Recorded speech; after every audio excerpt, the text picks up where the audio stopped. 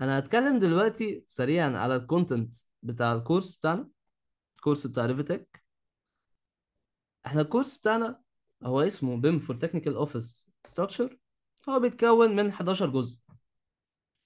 هنتكلم فيه اتكلمنا فيه على introduction لل BIM سريع هنتكلم فيه على ال Revit ال structure modeling essentials يعني إيه structure modeling essentials يعني بدايات ال Revit أو بدايات ال Revit الإنشائي. طب يعني إيه؟ يعني هنتعلم إزاي نعمل عمود إزاي نعمل كمرة إزاي نعمل إزاي نرسم كل العناصر الأساسية البسيطة. كده نخش نتعرف على ال BIM standards. ال BIM standards دي هي زي ما أنا بقول لك هي الايه أنت عندك هنا كود مصري لل BIM. حد يعرف عنه حاجة؟ لا ده هنتكلم عليه. طب عندك ISO لل BIM. طريقة التسليم طريقة الشغل طريقة ال system عموما عاملة إزاي؟ حد ده يعرف عنه حاجة؟ برضه لا. إحنا هنتكلم على الحاجات دي في ال BIM standards. بعد كده هنكمل بقى advanced Revit هنتعلم إزاي نرسم العناصر المعقدة شوية ومنها العناصر ال steel وال precast ودول ما حدش فيهم برضو في السوق يعني بيتكلم عنهم خالص أصلا. طيب خامس حاجة هنتعلم إزاي إحنا نعمل family يعني إيه family family دي زي بلوكات ال CAD كده بس بتبقى parametric يعني إيه parametric يعني بتبقى أنت تقدر تتحكم فيها بكذا شكل أو بكذا طريقة. مثلا أنت عندك آه، عمود مثلا زي عمودة المونوريل. عمودة المونوريل المونور- المونوريل دي عشان تعملها فأنت بتحتاج تعمل إيه؟ بعمل لها زي نموذج. النموذج ده أنا أعرف بقى أكبره أصغره أشقلبه. كأنك. هي برضو البلوكات بتعرف تعملها كده بس مش يعني ال families أذكى ودي هنبقى نشوفها لما نوصل لمرحلة ال families طيب سادس حاجة. هتتعلم تعمل جداول حصر هتتعلم, تطلع كميات من الموديل بتاعك وهتتعلم تضرب ال... أو تطلع تضرب الكميات اللي انت طلعتها دي في أسعار مثلا. لو انت عارف أسعار المتر الخرسانة أسعار المتر العمالة أسعار المتر كذا تعرف تطلع BOQ من ال Revit ومن ال Navis بطريقة سهلة جدا. هنبقى نشوفها مع بعض. طيب سابع حاجة. تعلم ال annotations وال detailing هتعلم من الآخر إزاي نطلع لوح concrete dimension لوح التنفيذ يعني في الموقع لوح تنفيذ خرسانة. فيها الفتحات فيها التاجات ال dimensions الكلام ده كله. إزاي نتحكم في الإخراج بتاعها إزاي نعمل الكلام ده كله. بعد كده بعد ال concrete dimension طبعا الخطوة اللي بعديها معروفة جدا وهي إيه؟ تسليح.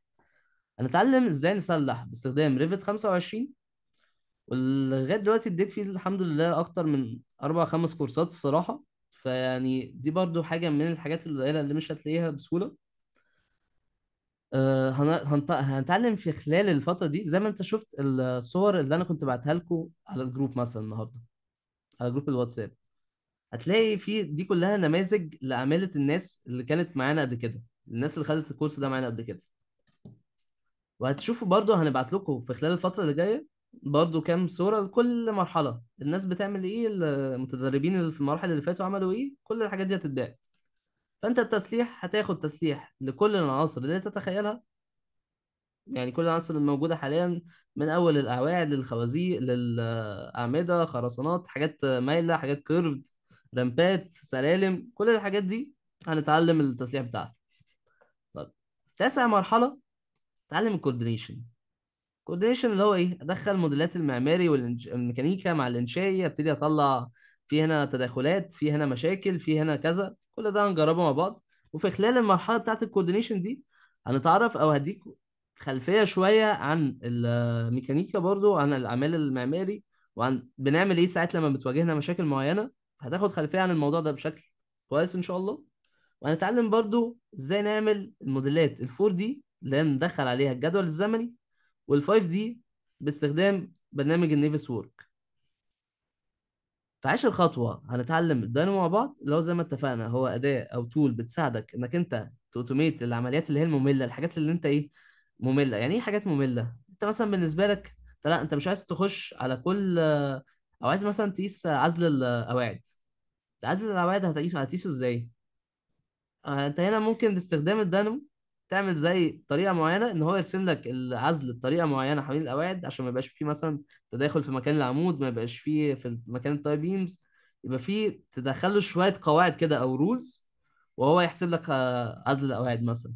أو لأ أنت عايز ترسم حاجات في أماكن معينة ممكن تعملها بالدينامو سهله آخر مرحلة أو ال level 11 هنتكلم فيه على ال worksharing يعني إيه worksharing ال worksharing هي الطريقة اللي بنشتغل فيها مع بعض.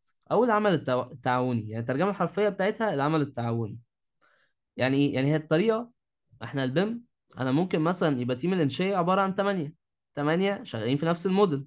عشان زي ما اتفقنا ما هو الموديل هيبقى فيه كل اللوح كل حاجة وكل لوح ال concrete dimension كل لوح التسليح كل الحاجات دي هتبقى موجودة في الموديل.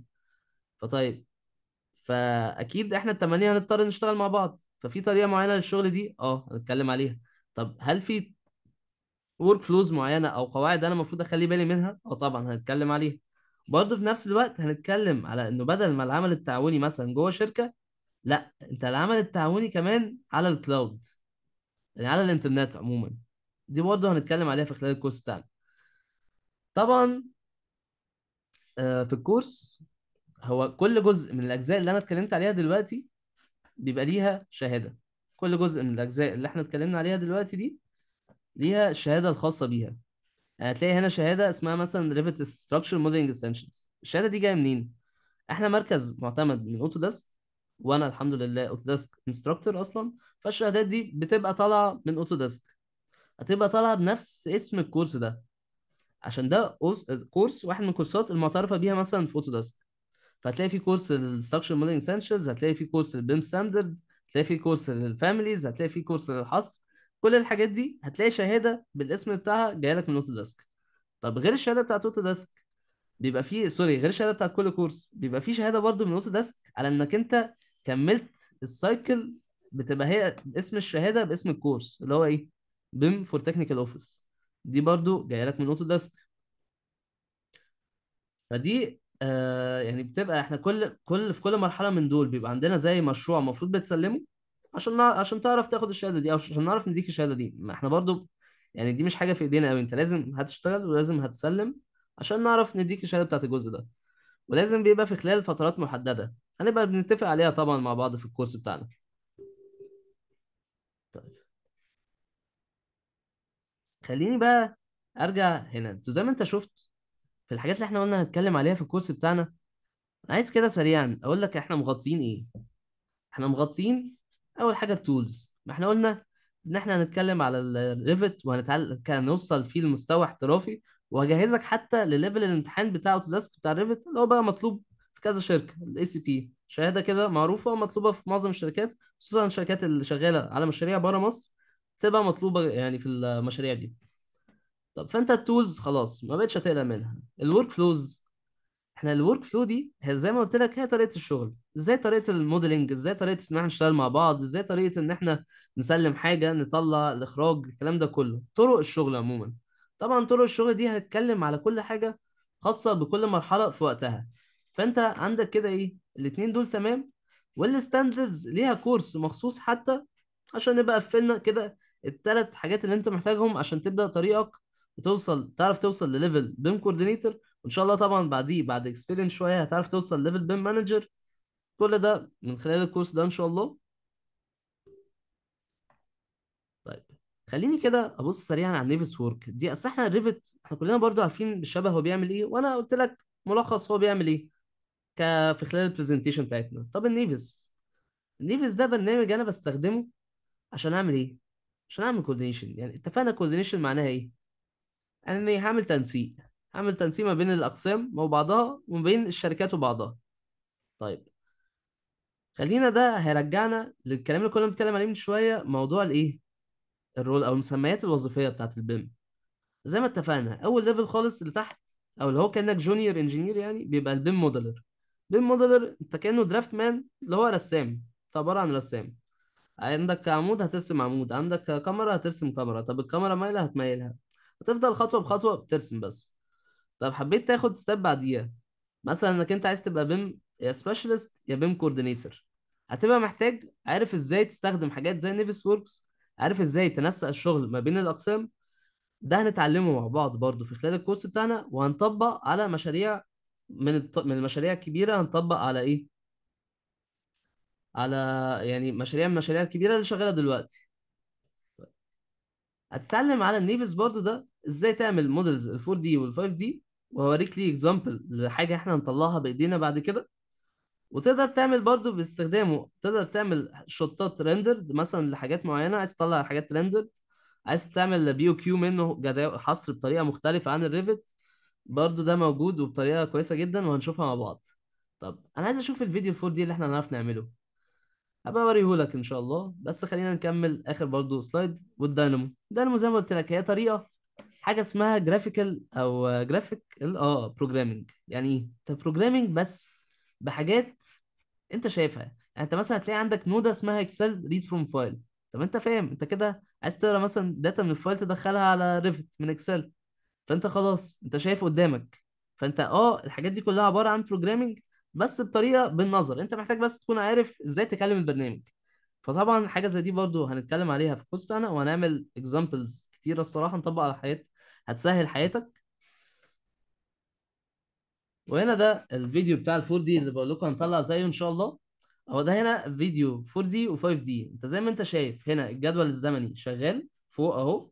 ال cost أو ال 5D ال cash flow كله شغال أهو. وعندك ال four D شغال وزي الفل. وده مشروع موجود في السعودية ويعني واحد من ال towers اللذيذة كده السهلة كان مطلوب منه حاجة زي دي. هتطبق عليه برضو هنطلع الجدول الزمني بتاعه وهنوصل لل level آه انت المفروض هتطلع هتسلم يعني حاجة بالطريقة دي بالظبط. وده برضو حاجة من الحاجات اللي طبقناها في الراوندز اللي فاتت.